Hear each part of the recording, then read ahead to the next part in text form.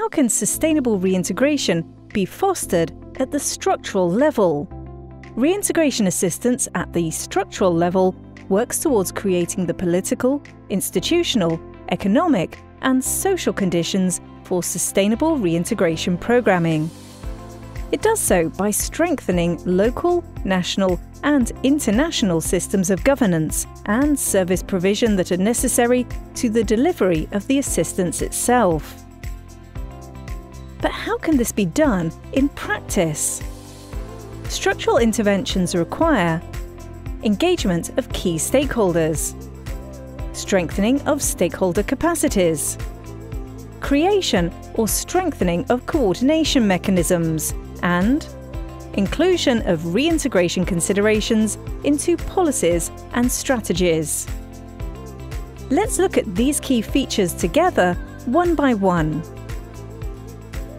1. Stakeholder engagement across different sectors and levels. Achieving sustainable reintegration requires a holistic approach and needs multiple stakeholders to make it happen. These stakeholders can be local and national authorities, international and non-governmental organisations, as well as private sector, media and academia, among others. Each of them has their own specific role to play. Local authorities, for instance, are important because they are the link between different local and national actors. They can influence what local policies to prioritise and connect reintegration support to existing local development plans, services and resources. On the other hand, the private sector, media and academia are able to support efforts to raise awareness on needs and resources, and they can act as advocates for improved economic and social infrastructures. 2. Capacity strengthening activities. Strategically, engaging reintegration stakeholders and developing their capacities improves effectiveness of activities and promotes the continuity of reintegration interventions beyond programme implementation.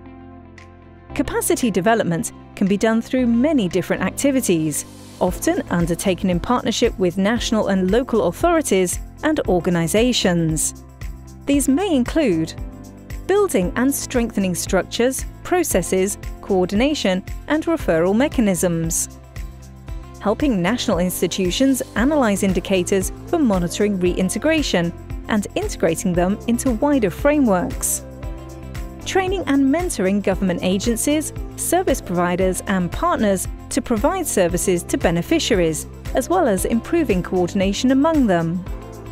Providing funds or in kind support for equipment, infrastructure, or additional staff to support service provision or coordination. Helping governments develop or strengthen their ability to analyse return and reintegration within the wider migration and development context. And support authorities to collaborate with the civil society and the private sector. 3 creation or strengthening of coordination mechanisms. Effective coordination mechanisms are crucial to synchronise the activities of government actors and service providers who support sustainable reintegration programming. Coordination mechanisms can be international, national or local and can take various forms, such as thematic working groups referral mechanisms or project steering committees. This to ensure that all actors involved are working towards a common goal. For this to happen, it is important that stakeholders agree on their respective roles and responsibilities so that their work can become more effective and impactful. Some tools that can be developed to support this process are standard operating procedures, joint instructions, or joint protocols. 4 inclusion of reintegration into policies and strategies. Supporting sustainable reintegration requires a whole of government approach and should be reflected throughout national and local laws, policies, and programmes. Ideally, reintegration should be a component of a national mainstreaming process on migration. This can be achieved through the revision and upgrade of policy frameworks or through the development of new reintegration friendly policies. The inclusion of reintegration consideration in any case should happen not only through migration and development strategies, but also in other sectoral policies that could be relevant for the national governance of return and reintegration.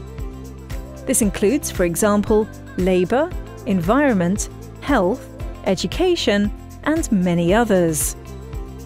Reintegration assistance, in sum, can only be effectively provided when all the mentioned conditions are adequate for sustainable reintegration. To know more, consult the IOM Reintegration Handbook.